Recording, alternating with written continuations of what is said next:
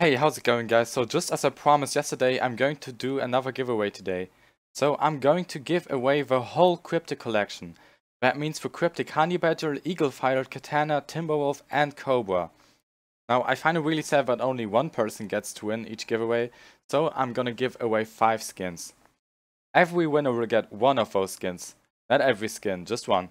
And just like last time, all you need to do to enter the giveaway is just write a comment below.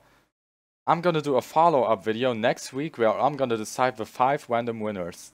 Now that's it for this video. See you guys next Sunday. Goodbye.